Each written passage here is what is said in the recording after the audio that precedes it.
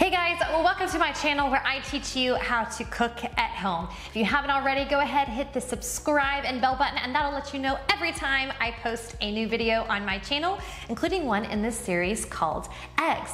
We've learned so far how to poach eggs, how to fry eggs, and now we're on to learning how to do a fun version of sunny side up and eggs over easy. I know it's very similar to frying eggs, but we're gonna learn a few different techniques for those, and that way you'll be on your way to learning even more ways to make eggs perfect at home. All right, I will get started. Today I'm gonna teach you a little bit of a fun way to make a sunny side up egg. Usually when you kind of crack an egg into a pan, the egg white kind of spreads out thin and some cooks a little bit quicker than the, I'm gonna teach you how to make a beautiful round sunny side up egg every single time.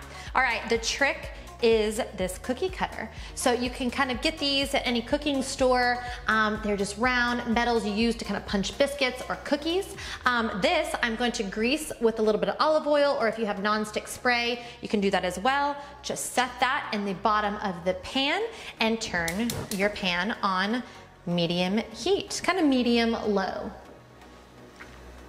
Why you wanna make sure that cutter is nice and greased up is because if you don't, the egg will actually stick to the metal and it'll make a hot mess trying to get it out. So promise you, make sure you oil it up or spray it down before you put it in the pan.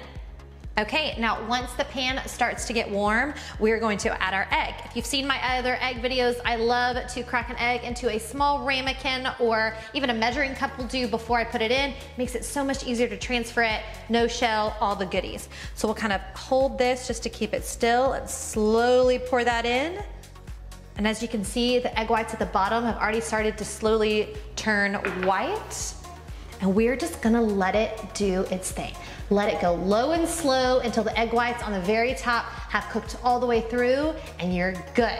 Okay, but while it's cooking, we're just gonna add a pinch of kosher salt, a couple cracks of fresh black pepper, and then now we'll let it do its thing. Okay guys, once you start to see the egg whites up top start to get opaque, use a paper towel or kitchen towel just to kind of lift it up slide a spatula under there and onto a plate. And you just use a paper towel and a little spatula to kind of just loosen up the edges and then kind of gently lift it up you should be left with a beautiful round egg. I love to kind of punch out another piece of bread using the same um, cutter and then place this on top with a little sliced avocado, a little dash of hot sauce. It is delicious and beautiful. So what I did here is kind of take the egg and punched it out and then punched out the, a piece of toast right underneath the same size as I did the egg cutter. And then I just sliced a little bit of avocado, drizzled it with olive oil, and a little bit of salt and fresh cracked pepper. Okay guys, the other way you can do an egg is to do a sunny side up egg. That just means the egg yolk is upside down and the egg white is over it and cooked. So we're just gonna add a little bit of clarified butter, um, also known as ghee. You can get it at most grocery stores. If you don't have it, you can use just regular butter. I personally like ghee a little bit better just because the milk solids in it don't burn. But with a non-stick pan, you actually don't have to use any fat. I just love the flavor of butter, but certainly use what you feel most comfortable with. Okay, we are going to add our egg, a little bit of salt, fresh cracked pepper as I do with all of my eggs and let it do its thing for just a hot minute.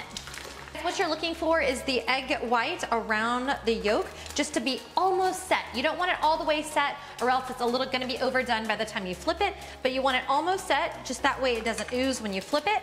I like to use a couple spatulas in here. So I like to use one kind of as a helper and one as a main and you just kind of help it up the spatula and then when you're ready to flip, just like that.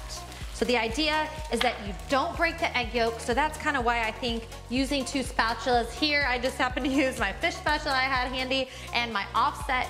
If you have not seen me talk about my offset, I love this tool. I will link below my must-have kitchen tools. This is one of them. It's just easy to maneuver, um, use it for most my dishes. Just give this maybe another 30 seconds to a minute to cook on this side and then we'll take it out of the pan. Okay guys, after we flip the egg, like you can see, it cooks both sides, so you don't actually see the egg yolk. It's kind of like buried and nestled inside with the cooked egg whites. The egg whites are just cooked through, not overcooked, and when we crack into it, let's go ahead. Ooh, see it's gonna still have that nice ooey gooey center, but oh, delicious. It's like an egg yolk sandwich. It's delicious.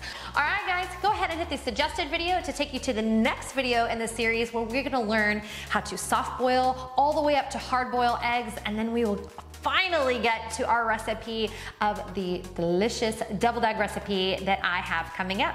All right, make sure to leave comments below on any tips and tricks that you loved in this video, and I look forward to you guys watching once more. All right, thanks guys.